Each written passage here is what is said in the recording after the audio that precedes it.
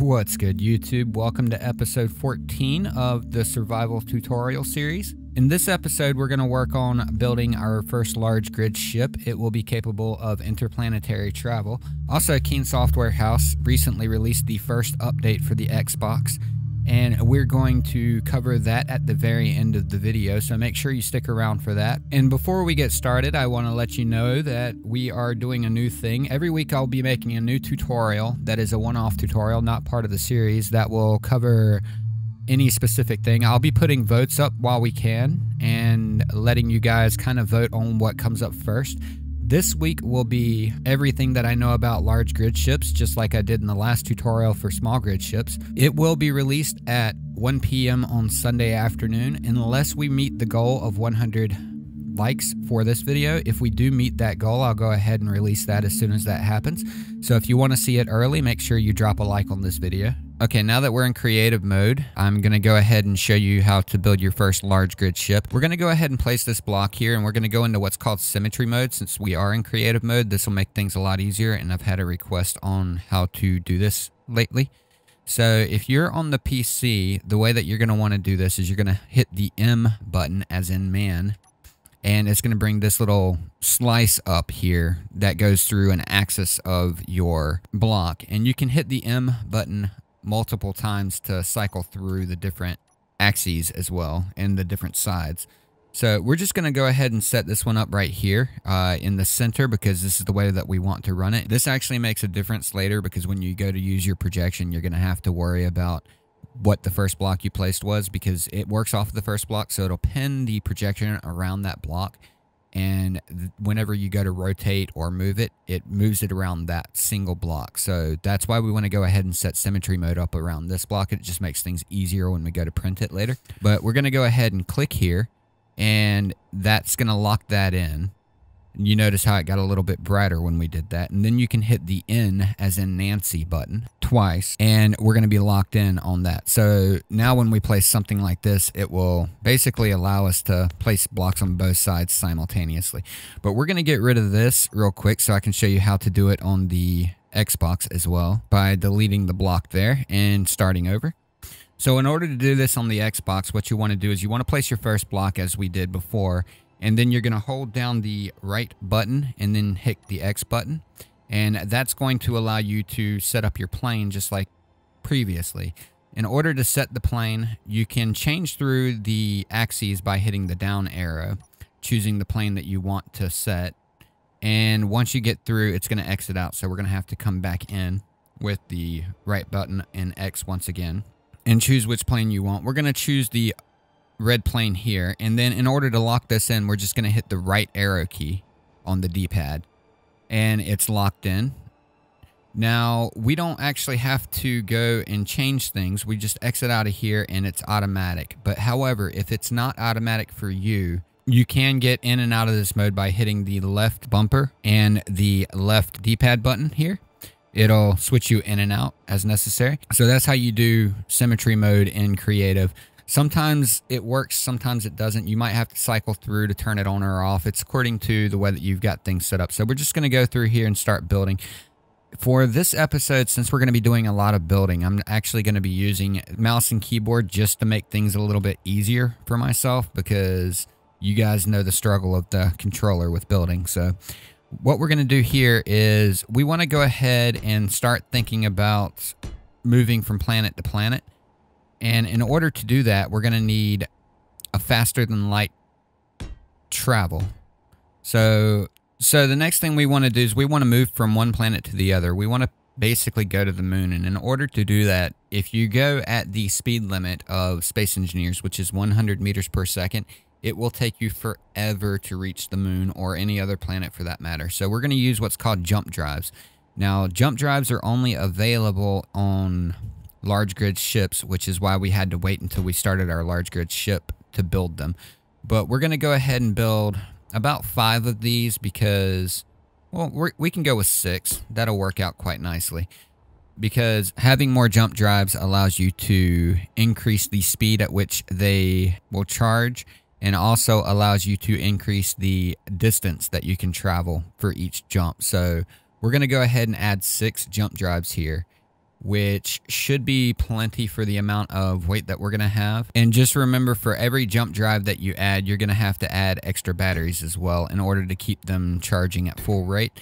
So that's why we're going to limit ourselves to six, but we still want to have quite a few jump drives here. That way we can spend less time waiting and more time traveling. Now that we've got the jump drives set down here, we're going to go ahead and start on building basically a miniature base inside of this ship. So in order to do that, the first thing that we're going to need, we're going to need a medical room somewhere on the ship, which actually we'll hold off on the medical room here. We're going to need some assemblers. We're going to need some refineries. We're going to want a beacon. We're going to want large cargo containers. We're going to want some large reactors. We're going to want a gravity generator, and that should be enough for now. So the first thing we need to do is we need some storage here. Anytime that you build a base, you're going to need storage, obviously. So we're just going to place some storage right here. And we're going to keep all of this symmetrical for now. If you're playing a multiplayer PvP style game, which pretty much I don't think anyone on the Xbox is at the moment because they don't have the servers available. But if you are playing on a server, so if you're on PC playing on a server and you want to worry about the PvP, I recommend not putting things close together here. We will be getting into that once they release servers for the Xbox. But for now, it doesn't really matter because we're only going to be fighting pirates and we're going to have automatic defenses on this ship in order to take care of the pirates for us. So we don't really have to worry too much. We're going to add some decoys and stuff like that to make them attack places other than where our stuff is. So we should be fine. But if you're playing PvP, you really want to think about where you place all of this stuff. Okay, so now that we've gotten quite a few cargo containers in here, we're going to go ahead and place our first refinery. Now, the thing to think about when you're placing something like a refinery is you notice how it's not completely symmetrical around the block itself, right? So what's going to happen here is if we place this, you're going to notice it's not really symmetrical here. It's going to line up the conveyor ports at the same place. It's not going to worry about the rotation or anything like that. So what we're going to do in order to fix that is we're going to delete this one and we're going to current we're going to temporarily cut off our symmetry mode so we can place these. We're going to place we basically want this side to be facing into here that way we can hide our modules there and place them like that. Now that that's done, we can cut it back on by facing one of the blocks. It doesn't matter what block and just hitting the N button. It'll cut your symmetry mode back on. And then we're going to place two assemblers here. So those line up perfectly. And I know this isn't exactly symmetrical, but it still looks pretty decent to me. So a little off symmetry is not going to hurt anyone, I don't think. And we're going to want to put some speed modules on here as well. So I'm going to go ahead and grab those up. And since we're in symmetry mode right now, we're going to need to cut that off or else, as you see, it's going to try to place them over to the side over or on the other side where there's nothing to connect to. So we're just going to cut the symmetry mode off for this too and place our speed modules. Now, a thing to note about the speed modules is it doesn't matter which direction you place them in. As long as they're touching two of these connectors for the modules here, you can place them like that, or you can place them like this. It doesn't really matter. And you can even place them in between two different refineries or assemblers if you want to. As long as both of those connectors are connected to a speed module, that's all that matters. It works the same way either way. In order to line these up right, we're just going to do it that way. And we're going to go ahead and toss some batteries in here just to get rid of all this red light that we got going on here. We're going to be placing batteries all over the place as well, just in case we get attacked. And this will give us a nice little place to see how our batteries are on charging. And you notice everything is charging up now. So these right here, these jump drives will actually charge up off the battery. Now that we've got batteries, we're going to have to worry about some reactors as well. So let's go ahead and add our reactors. We're going to need some way to charge the batteries. I'll turn symmetry mode back on now that we can use it. Four large reactors is going to be quite a lot, and that's going to give us plenty of power, I think. We're going to be adding a small little drill rig to this ship in order to help us grab uranium whenever we come by it. So now that we're thinking about that, let's go ahead and add our beacon just in case we have to leave the ship for any reason. And attached to that, we're going to put a large grid ore detector. And we're just going to place that in the floor. I'm just going to place all these things with the cool little light shows and stuff like the jump drives here and the beacon, anything that shows light, I'm going to place it in the floor and we're going to leave that open on our floor just so we can see it. I think it just adds a little bit of flair to the ship itself. Now that we've gotten that done, we have two refineries and two assemblers, which should be enough for now. It's going to not be the fastest setup that we could possibly have, but we're not too worried about the speed of this ship. This is going to be basically it's going to be our mobile base. We're going to go from planet to planet and basically put this in orbit of the planet. And we're going to do all of our operations from this ship from now on. It doesn't really matter how long it takes for it to refine everything. As long as it's got enough storage, we'll be perfectly fine. We also want to think about where our cockpit's going to be about right now. What I like to do is I like to lay the ship out and basically get the layout of the ship before I start any of the extra stuff such as styling or anything like that.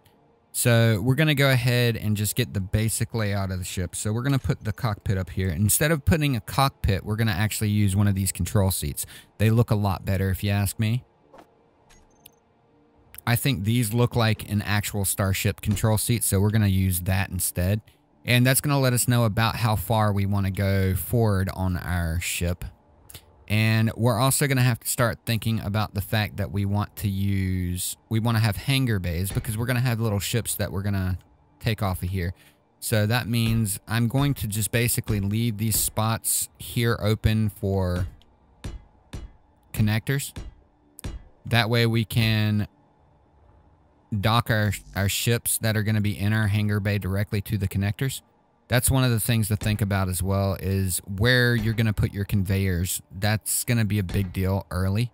So you want to make sure that whenever you set your ship up, you're thinking about your conveyor placement early. And I'm just basically placing a wall between everything and where our hangar bay is going to be. And we will have two hangar bays. That way we can have plenty of stuff available for the ship maybe some miners, ore detector, ship, and things along that line. This will leave us, if we set it up like this, that'll leave us, let's see, a grand total of 12 ships that we can attach here, which will be quite nice. 12 small ships. Okay, so now that we've gotten that done, we want to start thinking about what we're going to do for some sort of crew quarters because we can't make this ship completely functional without any good looks or anything. So I'm just going to basically build us a little platform up here. I think our crew quarters will be directly above where we have our control area here. And we can move this all out one more. We're going to pretty much have to anyway because we can't place the glass right in front of that. So that's going to be our crew quarters up here. And down here is going to be... In fact, let me move this forward just one more here.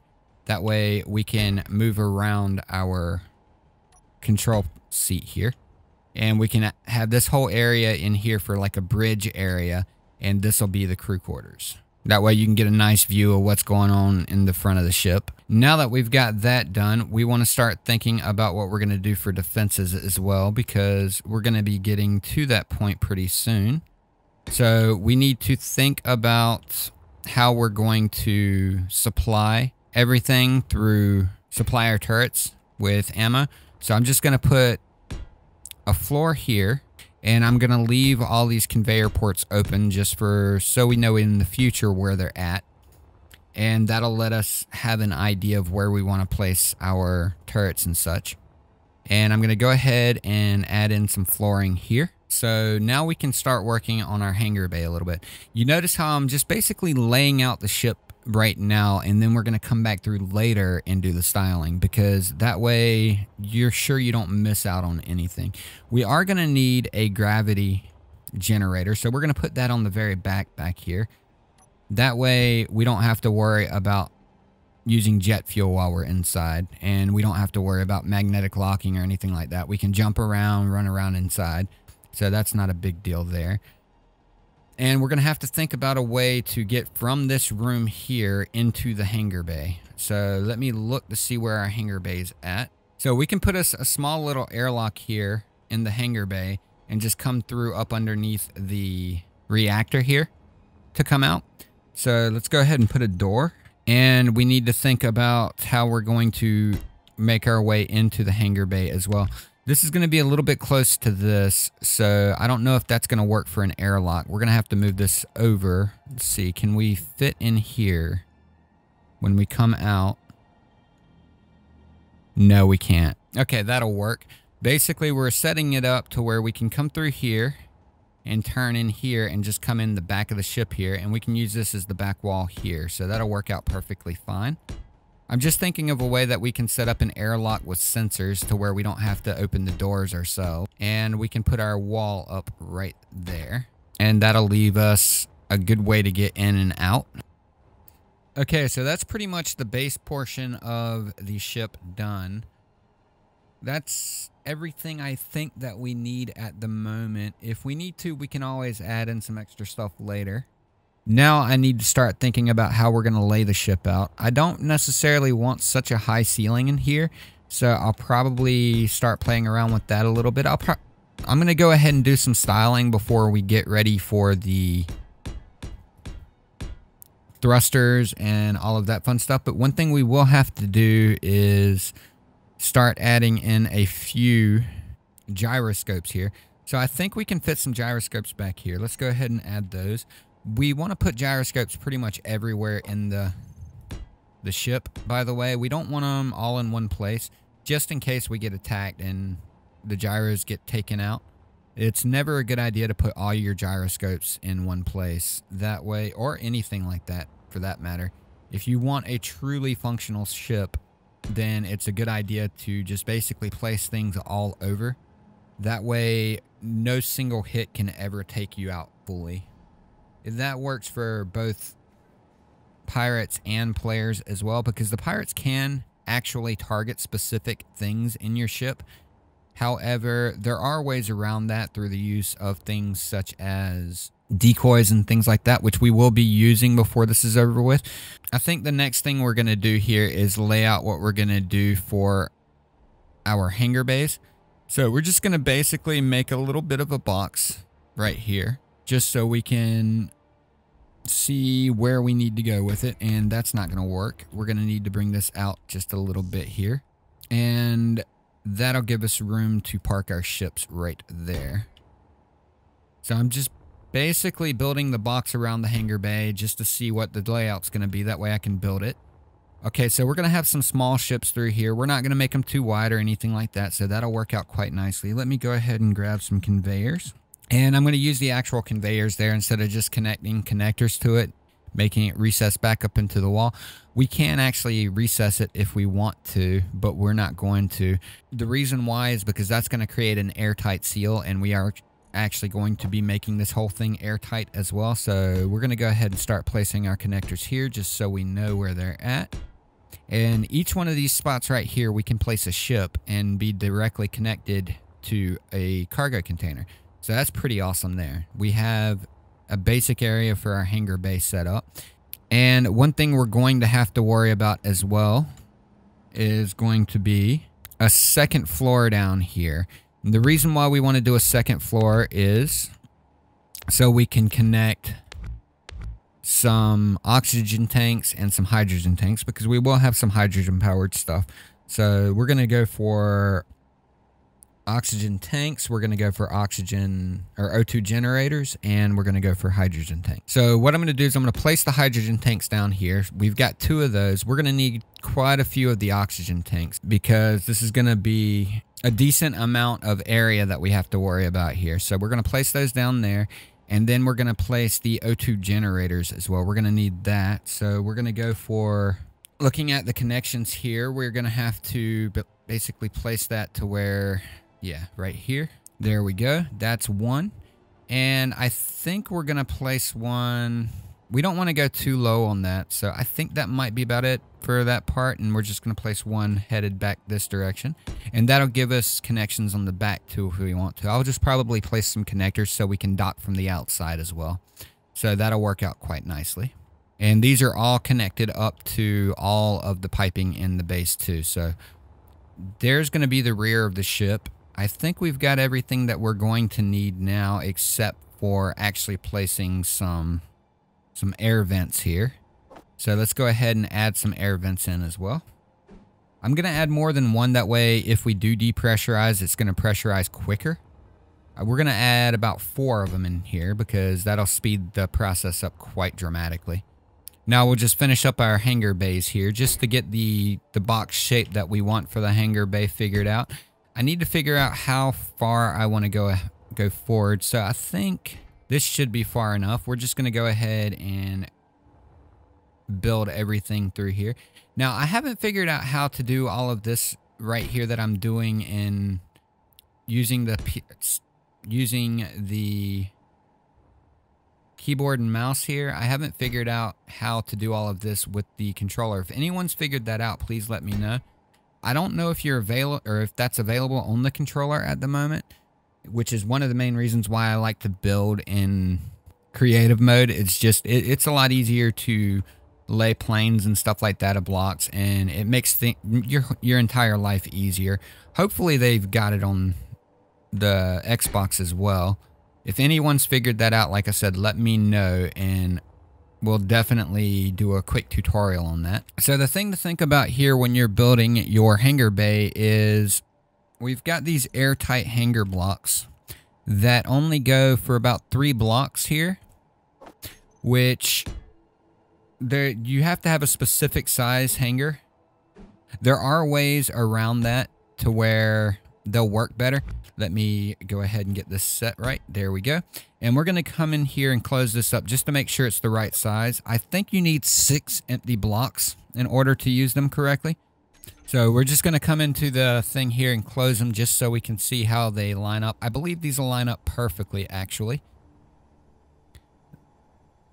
Yes.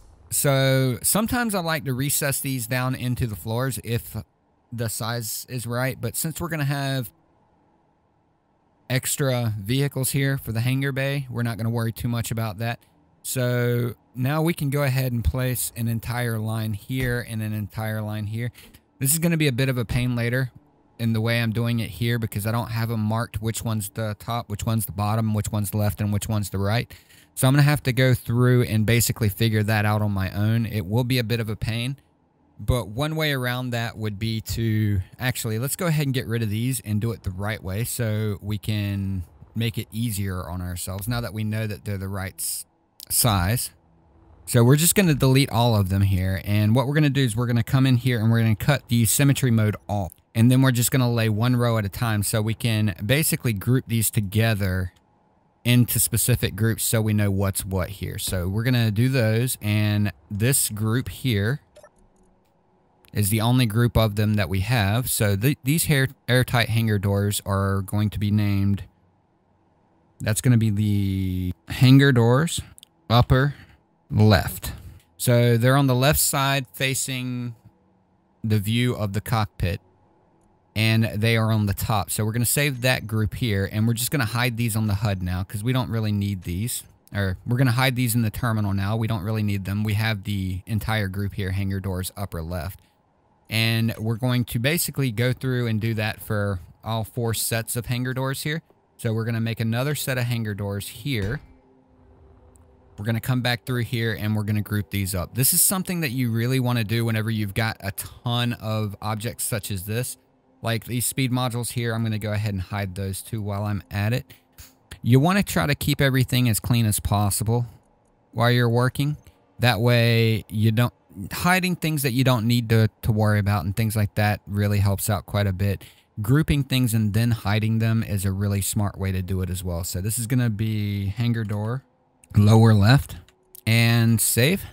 And now we can hide these as well on the terminal. So now we've got the upper left and lower left for hangar doors. We Let me change this name a little bit so it looks better. In fact, that's going to be doors for both of them. So there we go. And we can delete that one.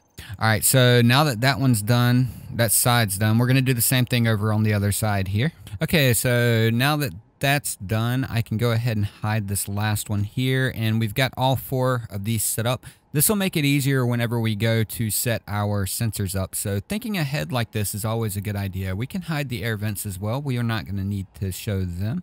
We're not going to need to show the batteries either, so I'm going to go ahead and hide these. So hiding all of this stuff here is probably a really good idea. Just basically hide everything and only show it when you need to. That way you don't really mess up with your terminal stuff here. And you can see what you need when you need it. Makes a lot of sense.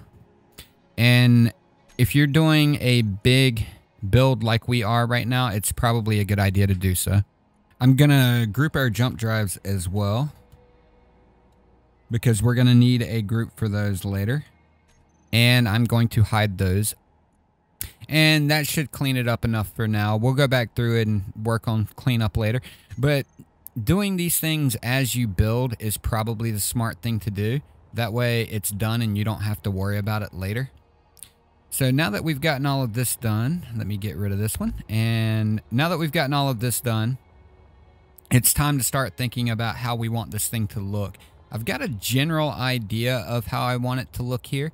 And this layout is actually a little bit right for that. I'm going to go ahead and start doing a little bit of shaping of the ship here and get it the way that I, we want it to be. That way we can start thinking about the placement of our thrusters and stuff like that. Just a little bit of styling. Okay, so I've got some basic styling down so far. All I did was basically just shaped up the front a little bit better and the sides here just a tad bit better than it was. I'm not completely finished with the styling or the air tightness of it yet. I've got to figure out what I want to do on the bottom here.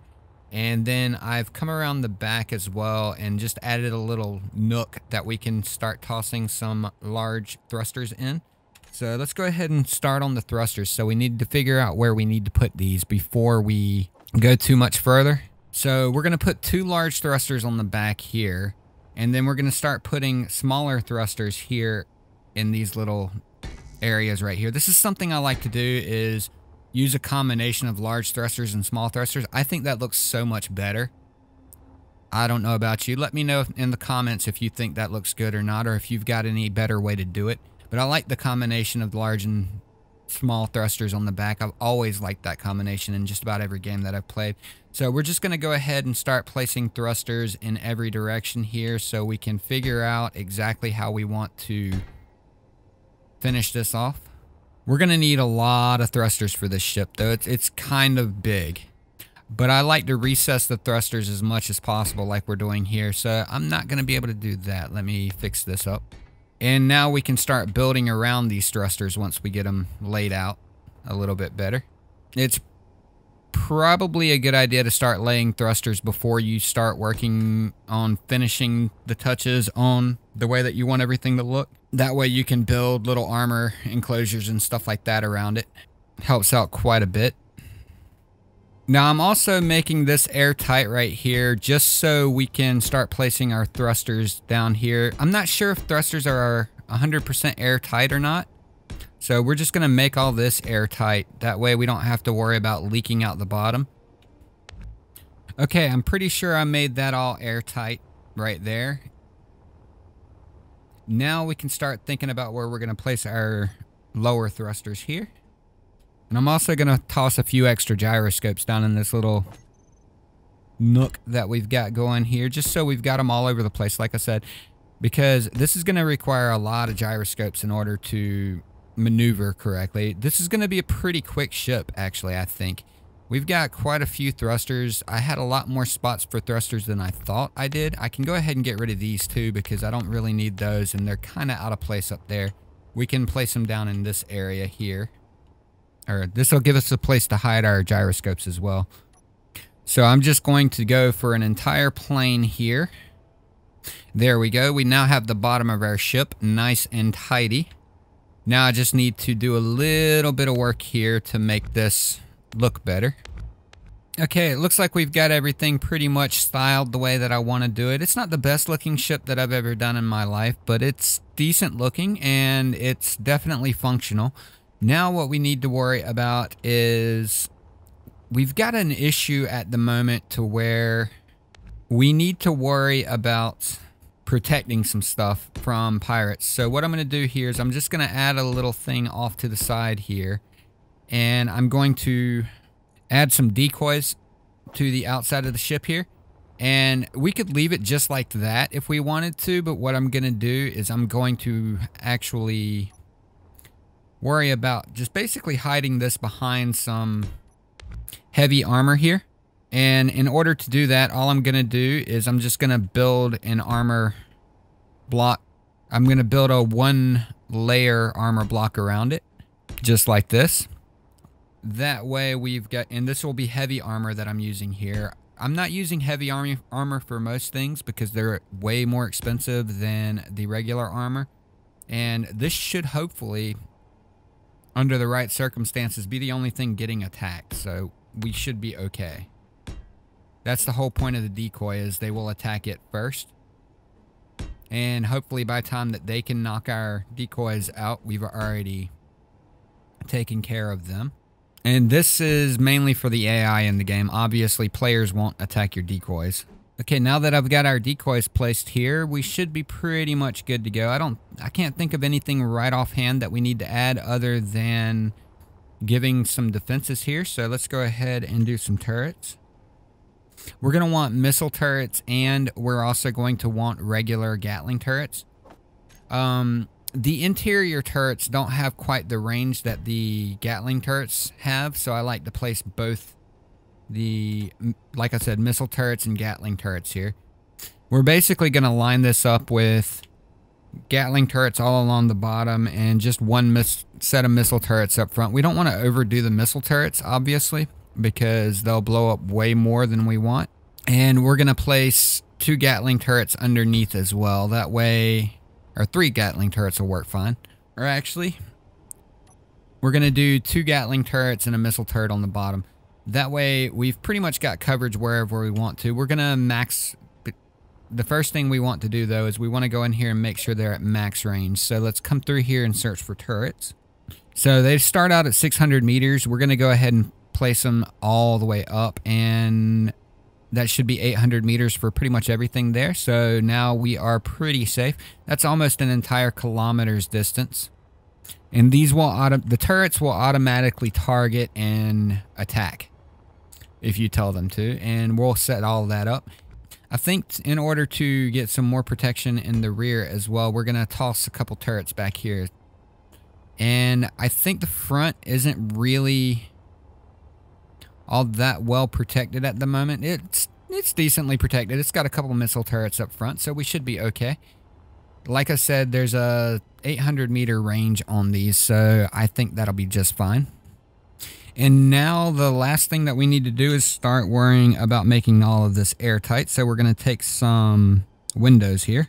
I'm going to grab the 1 by one flat, the 1 by one flat inverted, and the 1 by one slope and inverted slope as well. I don't remember if there is an inverted slope here.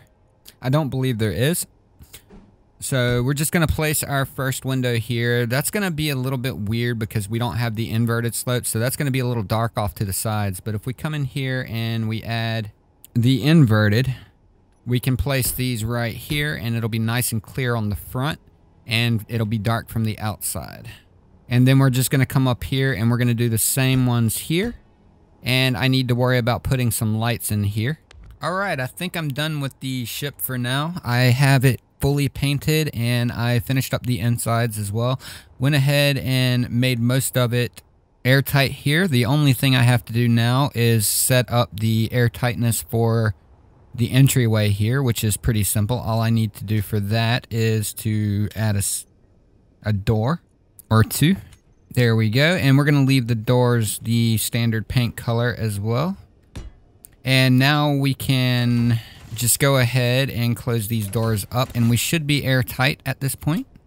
There we go. Yeah, we're airtight and filling up pretty quickly actually. There is one minor issue that I have here. I think I might want to work something around this spot right here. Actually, that's the what we'll do. We'll just get rid of one of the sets of gyroscopes there so it'll be easier to come in and out of here because you'll fall down this little hole here if you're not careful. But basically this is what I've got done in here. I have the cockpit area in here. I haven't filled this up like I want to quite yet. I'll work on that in the future. And we've got us a little living area up here. Unfortunately, I couldn't keep from bringing some of the paint inside in order to get the outside painted, but that's perfectly acceptable. But I think this one is completely ready to go, and I'm to hop in real quick and give it a quick test run and see how it works. We do have the doors open, so let me close those up real quick. All right, so all I did was chose all of the hangar door groups that we had and just hit closed on them, and they should close up quite nicely here. Yeah, there they go. And this is basically our overall finished product here. Give it a quick test, see how quickly it accelerates and decelerates. It doesn't have to be the quickest at acceleration and deceleration here because this is just basically a large ship that we're going to fly around. It will be kind of chunky, but that's perfectly acceptable. And we have all of that set up good. Now let's give it a test real quick with the jump drives. I'm going to go ahead and put the jump drives here and I'm going to put, they should be completely charged up as well. We're going to go ahead and choose jump for our bar here and I believe that should work out pretty nicely. So we've got about right at 5,000 kilometers distance that we can jump. So we'll go ahead and do a test jump.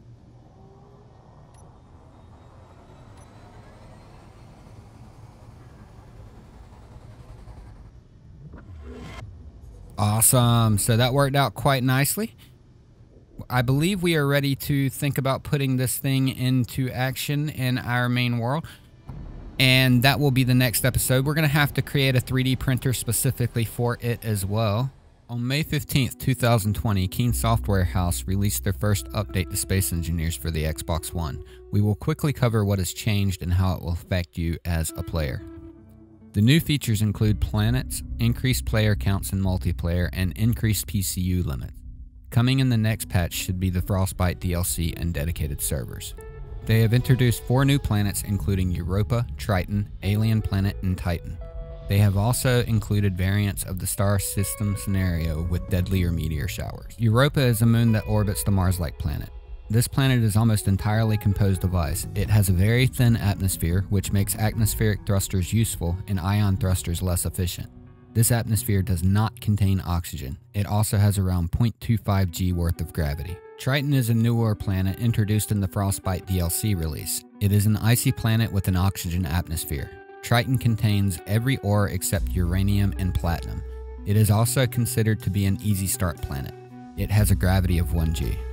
The alien planet is a higher gravity planet with 1.1 g, a non breathable atmosphere, and every ore except uranium and platinum. This planet is considered a hard start planet.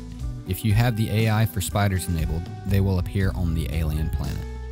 Titan is the moon of the alien planet. It contains a small non-breathable atmosphere. Spiders also appear on this moon. It contains every ore except for uranium and has a gravity of 0.25 g.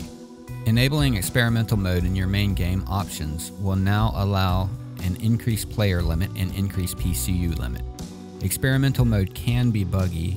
As of the recording of this video, it will limit the number of pages available for assignable D-pad functions to 1. The new player count limit in experimental mode has been increased from 2 to 4 on Xbox One and from 4 to 6 on Xbox One X.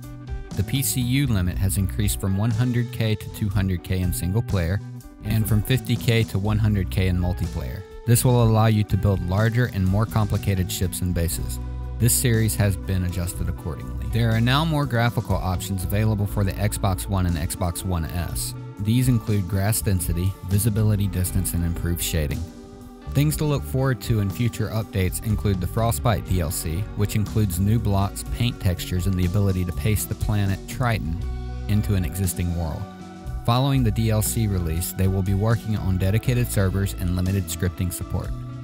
The current implementation of scripting in Space Engineers is incompatible with Microsoft's policy on code execution, as it requires precompiled code. Space Engineers currently uses just in time scripting, which does not require precompiled code. They are working on a fix for this. The introduction of scripts will be major to this guide series and will require us to restart the tutorial series in order to make full advantage. Glad you enjoyed the video. How about dropping a like to let me know that you did? Also, if you haven't already, think about subscribing and hitting the bell notification to be notified when a new video goes live. If you like what you saw and you want to see more, click one of the two videos on your screen now. Thank you. Have a nice day.